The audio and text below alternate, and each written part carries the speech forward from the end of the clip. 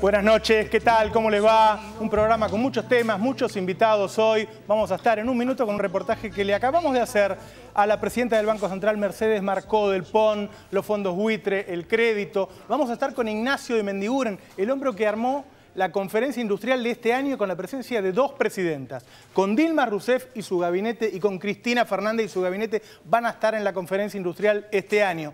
Vamos a estar con Hermes Wiener para hablar del después del 8N. Va a estar el diputado Roberto Feletti, que fue el primer candidato de la ciudad de Buenos Aires. Vamos a hablar de la intención de Macri de tomar los subtes. ¿Cuánto nos va a cobrar Macri por tomar un subte? Vamos a hablar también con él del 8N. Vamos a estar con Luis Delía, el hombre que durante muchos años estuvo en la calle defendiendo a los que no tenían para comer. Un día después de muchos años, después de ser insultado durante 100 metros, Delía se calentó y dio una piña y lo demonizaron. El violento del país era Delía. ¿Qué dirá Delía con todas las piñas que vimos en estas marchas? Pero hablando del 8N, a ver, en los años electorales es, fácil decir que un gobierno es legítimo, digo, acabamos de contar los votos. En un año como este, ¿eh? cualquiera se anima a decir que el proyecto está agotado, que el kirchnerismo murió. Después de la protesta del 8 de noviembre, los medios hegemónicos armaron el relato del 8N. Quieren convencernos de que el país se incendia, de que el kirchnerismo se acabó, de que el kirchnerismo está en retirado. ¿Para qué? Para que el gobierno no pueda hacer cumplir la ley de medios, para que llegue debilitado al 7 de diciembre. En un ratito les vamos a dar un dato que todavía no se sabe sobre cuál es el plan del gobierno para el 7 de diciembre. Pero antes vamos a ver, estuvimos en la protesta del 8N, estuvo el periodista Iván Jabrowski de nuestro equipo cubriendo la protesta. Vamos a verlo y después hablamos del relato del 8N y de qué va a cambiar el 7 de diciembre. En el destape queríamos saber qué era este famoso 8 de noviembre y vinimos acá al obelisco, el corazón de la City porteña, para ver qué nos decían estos vecinos. ¿Por qué están protestando hoy y cuáles son las demandas concretas? Seguridad, los jueces no nos garantizan nada. Eh, el, el, cepo del dólar no es tan importante, pero es muy importante para las industrias, que se están yendo todas las industrias. Está quedando la gente en la calle. Inseguridad, inflación, impunidad. Las tres sí. Y, y, y. Esto es que es una fábrica de vagos porque nosotros mantenemos los subsidios. Pero si vos vas a encontrar a alguien para que te arregle y te cambie un cuerito, no lo conseguís. No lo encontrás, porque nadie quiere trabajar. ¿Qué derechos humanos? Si los críos se le caen a las mujeres, si le pagan a las adolescentes que no tienen sentido. Una niña tuvo un bebé, bueno, se la asiste. ¿Y cómo qué pasa con eso? ¿No tiene familia? Nació, brotó espontáneamente. Porque parece que brotaran, sinceramente. Es como que eh, llevan vidas silvestres. Cualquier chico menor de edad mata.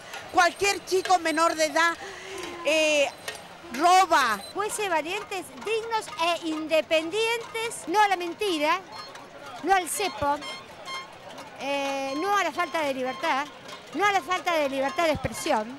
Ah, no, y otra de las cosas fundamentales es la fragata. Inseguridad, eh, la corrupción que tiene el gobierno, la inflación es importante también.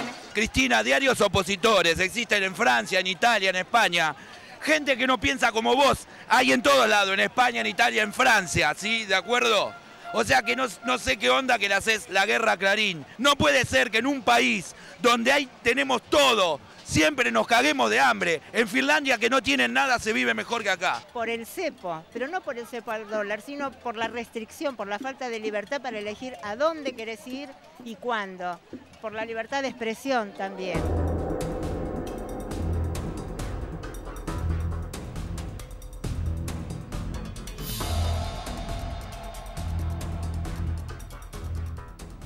Luego de esta protesta, una protesta en la que hubo muchos reclamos, con algunos acuerdos, por ejemplo con el de la inflación, con muchos no, ¿sí? pero muchas de las cosas que escuchamos son las que machacan en los medios hegemónicos constantemente. Y la idea ahora, lo que estuvimos escuchando después del 8N, es que como el gobierno no escucha, todo va a empeorar. Es decir, la idea es generar una situación de incertidumbre de país en llamas como ya lo han hecho otras veces. A ver, es difícil a veces desmantelar las mentiras de medios hegemónicos que tienen tanta fuerza, pero podemos analizar algunas cosas. ¿En Argentina hay inseguridad?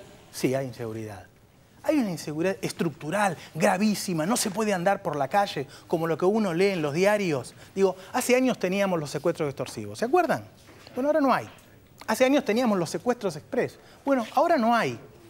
Pero, y también, ¿qué pasa en otros países? ¿Este es el país más inseguro del mundo? Vamos a ver algunas de las noticias que salieron en estos mismos medios sobre otros países en estos días. Fíjense en San Pablo, 15 muertos, ¿eh? acaban de asesinar a 15 personas. Al otro día salió que habían matado a 20. En Colombia, una matanza, a 10 campesinos mataron. Terrible asesinato. Masacre en México, encuentran a 49 cadáveres a la vera del camino. Ahí están los 20 asesinatos. Un día salieron 15 y al otro día salieron 20. Digo, estos son países con graves problemas de inseguridad y hay muchos. Les estoy mostrando algunos. ¿sí? Le puedo mostrar Guatemala, le puedo mostrar muchísimos más.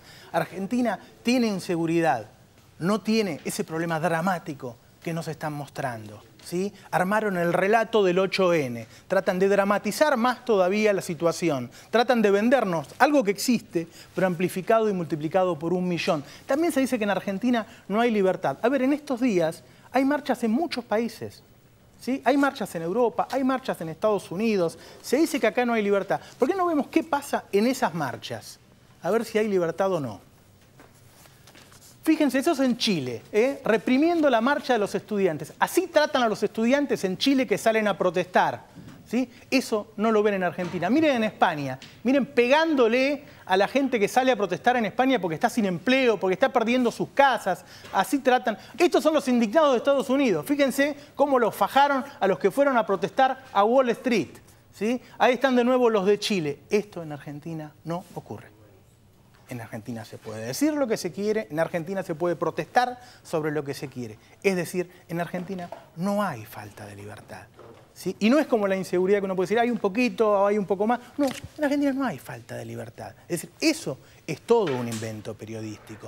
También se habla de la corrupción. Algunos lo dijeron en la protesta y el relato del 8N, los editorialistas, dicen que somos el monumento a la corrupción. Digo, vamos a ver algún caso acá cercano, por ejemplo, ¿sí?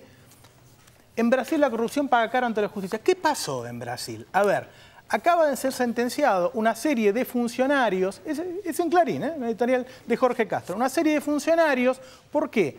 Porque durante los primeros dos años del gobierno del PT había una serie de legisladores opositores que recibían una mensualidad por votar las leyes a favor del Ejecutivo. Eso es corrupción estructural. Eso es un grave problema de corrupción. ¿En Argentina hay corrupción? Sí. ¿Hay corrupción estructural? No, no la hay. Pero se arman esas historias porque lo que se quiere es presentar una situación de país en incertidumbre, de país en caos, de país en llamas, para que no se cumpla la ley de medios el 7 de diciembre. Y digo, y recién les decía qué va a pasar el 7 de diciembre. A ver, todos los otros medios están presentando su plan de adecuación. Clarín no. Si llegamos al 7 de diciembre y no lo presenta, el que lo va a presentar es el gobierno. Ahora bien, ¿Qué es lo que va a hacer el gobierno?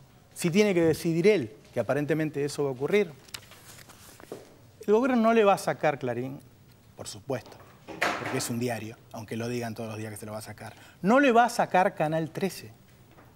El gobierno no le va a sacar Canal 13. No le va a sacar TN. No le va a sacar Radio Mitre. Es decir, todos los periodistas independientes que están en todos estos canales van a seguir siendo empleados de Mañeto. No hay ningún tema con la libertad de prensa, no está en el gobierno la idea de modificar eso. Ahora bien, la ley dice que, por ejemplo, si tiene un canal de televisión abierta en una localidad, no puede tener un sistema de cable. Es decir, ¿qué va a perder Mañeto? Acá en esta área, cablevisión. ¿Y cablevisión es un problema de libertad de expresión? No. Cablevisión es el principal ingreso del grupo Clarín. Es decir, Magneto está peleando por plata, no está peleando por la libertad de expresión. Y esto que estoy diciendo lo vamos a ver pronto. ¿eh? Podemos ver dentro de un mes este tape y el tape de lo que dice la nata o los periodistas de TN y de Clarín. Nada de eso se va a tocar. Lo que va a perder es plata. El relato del 8N, la búsqueda de la incertidumbre, la generación del caos, es por plata.